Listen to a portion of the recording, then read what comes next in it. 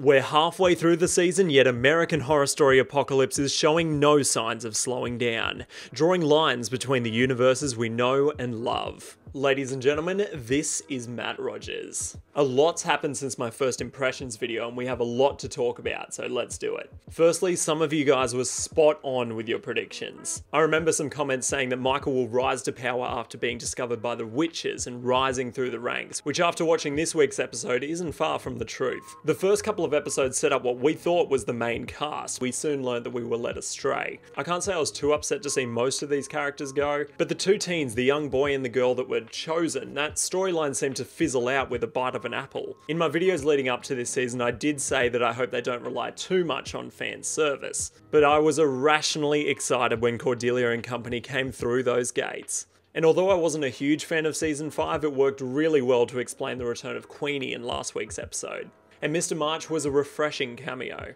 Speaking of which, if someone in the comments has figured out how this whole timeline works, I'm still not sure that the hotel storyline matches up with the dates of the apocalypse. If you figured it out, then let me know. One thing I wasn't a huge fan of though was Mallory and Coco's involvement in the Coven and that Cordelia just cast a spell on them to make them forget their involvement. That's really nothing but lazy writing, and I feel like they could have incorporated them into the story without having to resort to that. But that scene between Michael and Mallory, where she revealed what could possibly be her true form, was intense, and I can't wait to see more of that.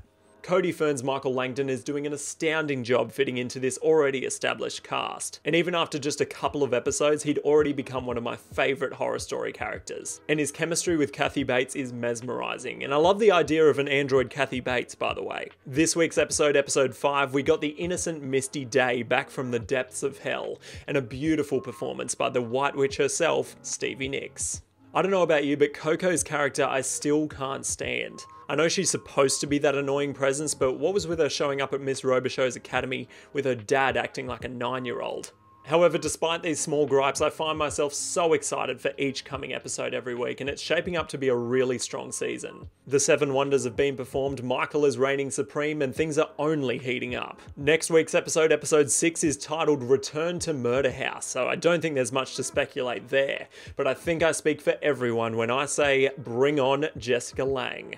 But that's all from me for now, but make sure you leave your thoughts in the comments as I'll be reading some of them in next week's video. But until then, thanks so much for hanging out, and if you had a good time, then spank that like button. And if you subscribe during this video, then welcome aboard. This is Matt Rogers, and that is all.